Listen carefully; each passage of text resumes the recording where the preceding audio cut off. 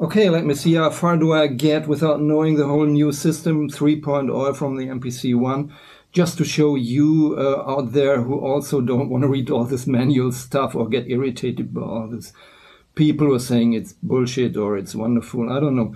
Um, let let me look. What what could you expect? This screen uh, is like we know it. I'd say new project.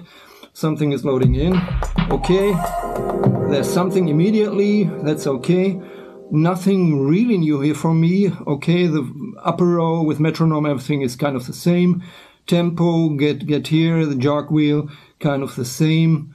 Uh, if I get in here, there's a sequence, kind of the same. Where's the pattern? I don't know. I, I suppose it's this trap kit number one default because ah, each of the buttons uh, representing uh, the audio of, of its content here. That's okay. That's new but that's understandable. There's a monitor. I do it on auto uh, length. Maybe that's quantizing uh, layers. I don't know. Uh, so TrapKit default, but I don't want to do new track. Uh, or yeah, what I did on the old MPC. There's new track here. I press plus, and then I can choose audio. Yes, we know this audio stuff. Ah, there's a new window, but how do I get my tracks? I go into browse, and that's nothing new. Yeah, I load it go back to my main menu and then, then it's in. So just let, let record.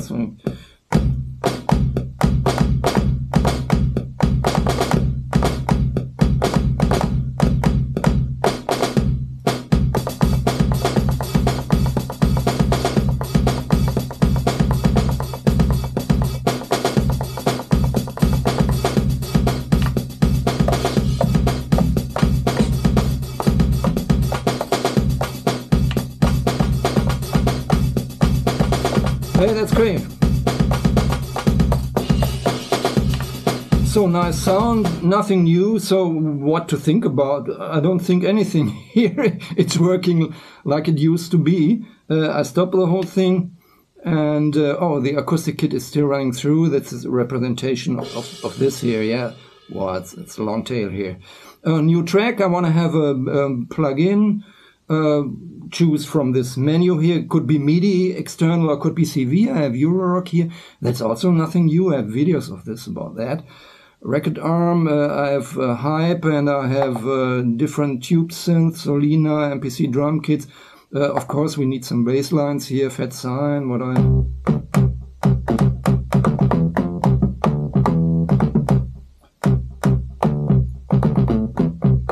there must be somewhere that I can change it to to, to minor. Uh, probably there is, of course. Okay, let's let's stay in in in, in major. Okay, like it used to be.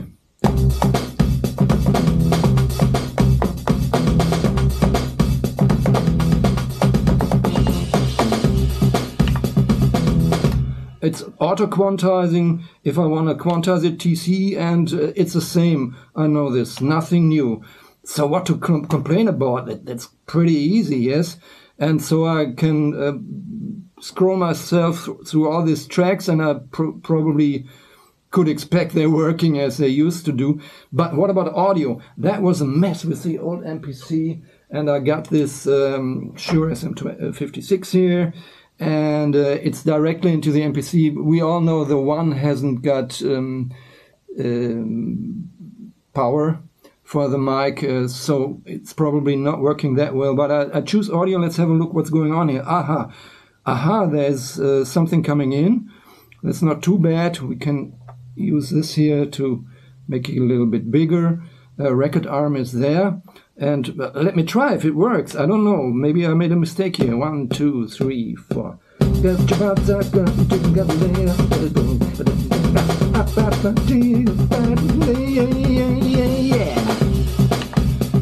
Well, there's something in there.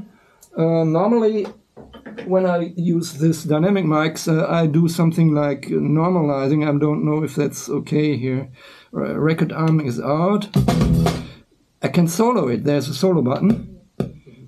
Yeah, here's something. Um, but I want to have it louder. And I remember on the MPC uh, before the 2 version, uh, there was a mixer somewhere here. Ah, there's a mixer. You see that? Okay, and I don't need the metronome here anymore. I put it off. Okay. Yeah, yeah, yeah. There's something in there, but it's still not loud enough. so now we come to the effects session, uh, section. There's different possibilities here, like in the old one, but I have in the mixer directly here an FX, and I say plus, and I say something like dynamics uh, to pump it up a little bit that it's louder. Just select and uh, and I can go in there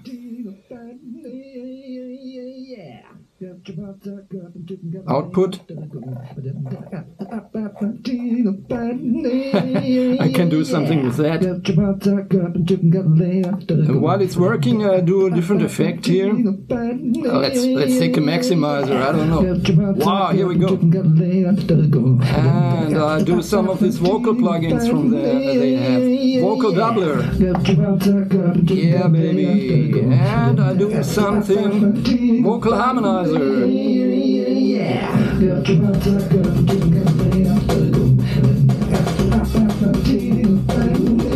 Hey, that's great. And I don't have to look anymore uh, in the, into this menu stuff. This is most of the things I normally uh, uh, working with. I can also say muting, yes. Uh, the whole FX and, and this is pretty neat to do that here. Uh, so, how do I get back? Uh, I got this audio thing. What about this arrangement part? I'm coming from DAW, so should I expect something like, hmm, is it like that? No, let me have a look. Uh-huh, uh-huh, uh-huh, uh-huh. So I expected something else. I expected some sort of a big arrangement, arrangement like I know from the other DAWs. Let me have a look if I can get there. What about these things here? Uh, this is a mixer. This is gr really great. Yes. And what about that? A pad mixer, XY pad. This is just uh, the expansions I can get into. so, where is a menu that I get something? Uh, if I if I get in here again, Okay, I'm back again. I found what could be the problem, and you might have the same. If you go to arrangement and expect this uh, DAW uh, thing, uh, no. In this arrangement page, it, it's it's just uh, that you can go from one plugin to the other. Uh, but if I want to get in there, I go to menu and say arrange. Uh, this little screen is not so super good, but if I get in here, I got this plugin 01 what if I want to edit? I say edit, erase, trim, transpose. Okay. But I want to go there uh, with my fingers and do something with this MIDI events here. What about that? I go in, in there and don't understand. Doesn't doesn't work. And maybe fingers is also wrong. It would be very nice to have a pencil or something to do this. Uh, of course, everybody will cry out now, well, this idiot, he doesn't understand, but I'm pretty sure many of us will come to the same point uh, where they don't understand A, this arrangement thing. Why doesn't this appear immediately? And why can't I move these events here? And where's the grid and everything? So this is, yeah, there's some sort of grid. Maybe I made it too big or whatever. Um, and of course, I, nothing happens when I got in, get get in here and tap on it and want to drag it somewhere, but sh should be possible in a way. Yes, uh, I don't want to erase or clear anything, but let me have a look a few seconds and then I'll be back.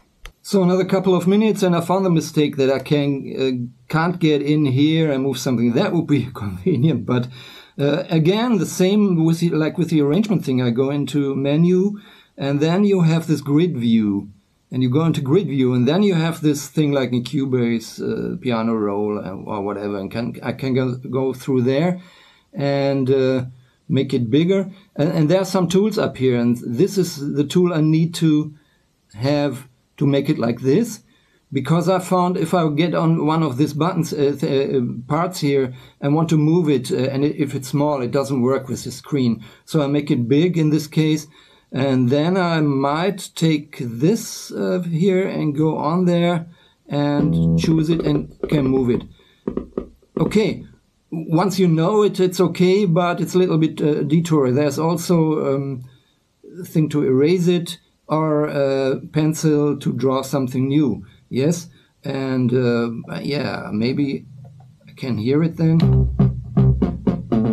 Yeah, that works. Uh, so um, to understand this arrangement for me was uh, this is a representation of the whole thing. I uh, should go into menu again and go into the range. Then I see the whole thing all in all. In that, I don't see any uh, possibilities except this and control of the whole thing or get in here and solo it.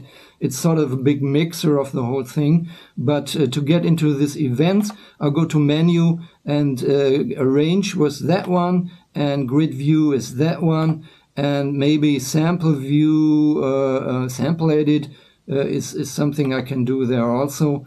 Uh, so this is quite interesting. Let, but let's go back to this main page here.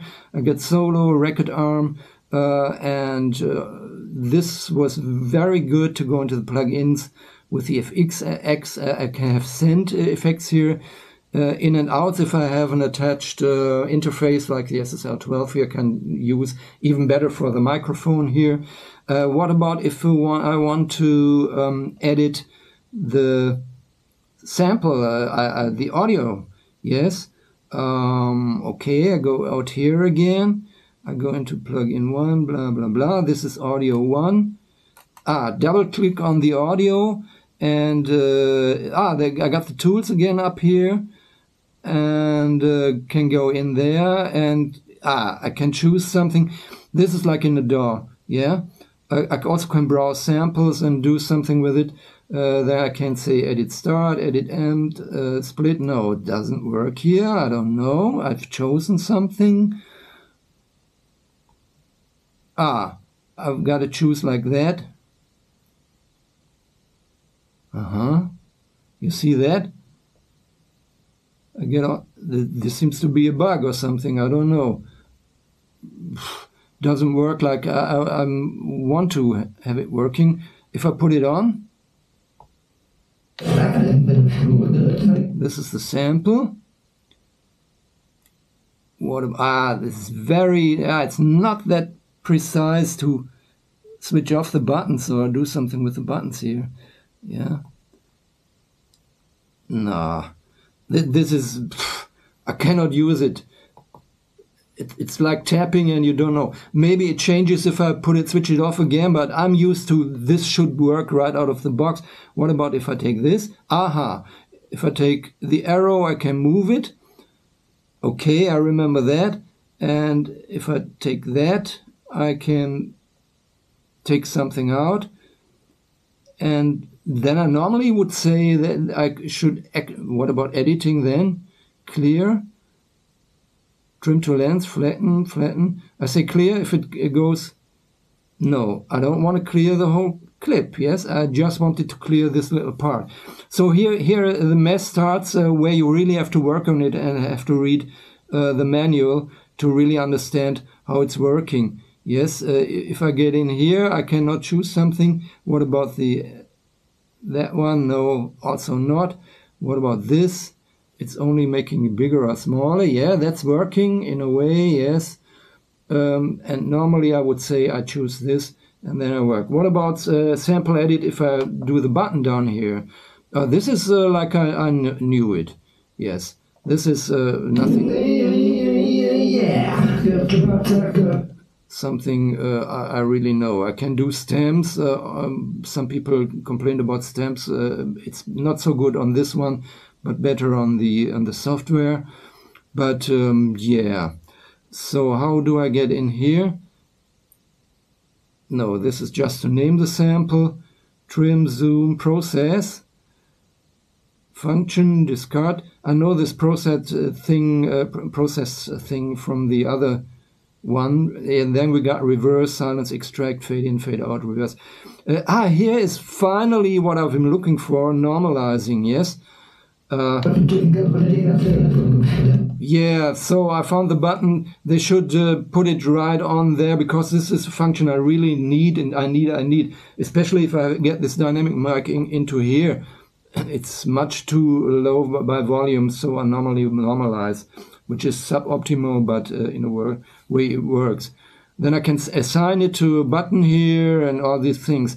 Well, well, well, I don't want to bother you with much more, but uh, in the end, you see the, the basics. Doing, doing something like that here is,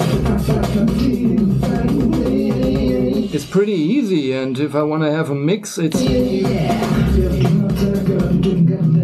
even easier, yes? This is really great, great, great, great. Uh, I love it. Uh, the whole thing with the FX is, is great. If you understand this concept of uh, uh the parts here and uh, uh, or the tracks, that, that, can be anything from audio drum to plug-in key groups or whatever, to this brilliant new function putting audio right in there, what you used to do in a, in a DAW. And then go into arrangement. There's a little bit confusing that you cannot go in here. There's no tools in here. Uh, and if you press the tools, you have something like clear. So th this seems to be levels of tools here, or levels of uh, construction and destruction in the whole thing. That's what they thought. I, am pretty sure. So I go via menu, or maybe there's a button uh, that I immediately come to uh, this arrange window here and have a look of whole, on the whole thing, or then go into grid view. Uh, and uh, grid view, of course, only functions with the whole MIDI thing and do something there. Uh, in the end, I come a long way in this 15 minutes or so. Um, and what I can say, I agree that this is quite good. It's except with this uh, um, using your fingers here. I don't know if, if I find a shortcut to use a, um, a, pencil or something to make it more precise or maybe it's just my fingers today. I, I don't know. Uh, it's a little bit tricky on this small thing here. Um, on the big uh, uh MPC, it might be better. the, the rest is good. I would then try to go into the sample edit and do something with normalizing or reversing or uh, uh grid edit or all these things. But uh, as I said, I don't want to bother you. Just get, to give you an impression. That's probably what you can expect if you change to 3.0. It's not going down. There's no crashes uh, so far. Uh, the basics are working. Uh, it's not so complicated to uh, understand the new um, structure, how to work with this. Uh, I would say it's better. For me, it's better but I'm not this MPC guy uh, primarily. So for, for somebody who's coming from uh, arranging with uh, Cubase or Ableton or whatever, uh, this is really an advancement. And thank you for Akai to doing this for free. You how, how can we complain? You can stay with your old firmware. Uh, it's still working, even if you take an MPC from, from 10 years ago or 15 years ago. Uh, don't change your winning system uh, I don't know if you import your things, if, if it's working in here. There can be some uh, things that are not working, but I like it. So try it by yourself. If it's out, I think it's still better. I'm a beta tester here, uh, or I was in this beta program. We've all been waiting, but uh, it will be out pretty soon. I'm pretty sure, maybe October or November or what. Uh, I, I changed and I don't regret it. Okay, see you next time, guys.